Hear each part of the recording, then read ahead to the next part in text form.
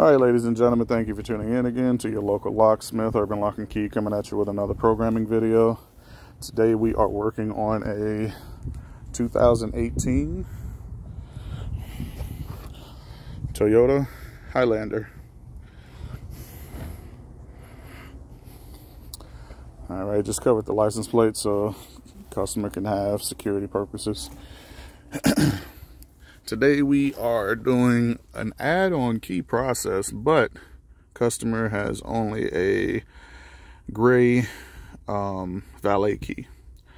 And as you all know, the valet keys, you cannot do an add-on process because you need a master key to do that. So we're gonna have to do a lost key process.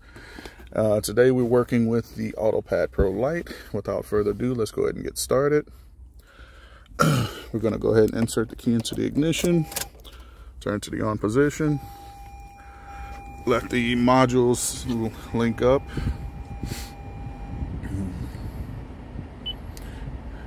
And one quick thing before we start for those of you that don't know how to tell if this is a valet key or not the security light right there. Once you put the key in the ignition without turning into the on position it'll stay lit for three seconds. All right? That's how you know Normally for the valet keys, that's what happens. If you have a master key, once you put it into the ignition, the light goes away automatically. All right, so we're gonna go ahead and get started. Gauge cluster is lit. Modules are syncing. Okay, first thing we're gonna do is go into US Toyota, hit agree. And we're gonna be programming two of these remote keys to the system hit a key by type, immobilizer. We're gonna auto ID.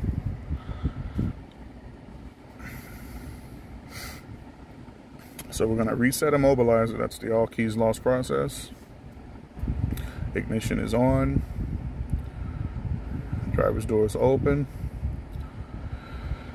and make sure you follow all the prompts accordingly.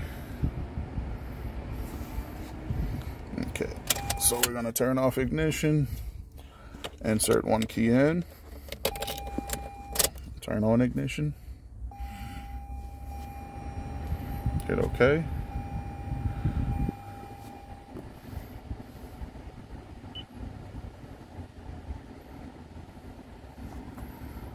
Press OK. All right. Now we're gonna go ahead and take the key out. Normally I like to wait about 30 seconds for the module to resync. So we're gonna go ahead and give that a quick second and then we'll come back to the video. Okay, ladies and gentlemen, we're back. Let's go ahead and check the key out. This is the master key that we just made. Now, like I said before, when you go ahead and put the key into the ignition, this is how to determine that the master key is in the system the light goes away right away. All right, let's go ahead and start it. And there you have it. All right, like always, if this has been helpful to you, go ahead and like and subscribe to the channel. I'll be doing more videos as they come. I'm going to go ahead and leave my information in the comments below.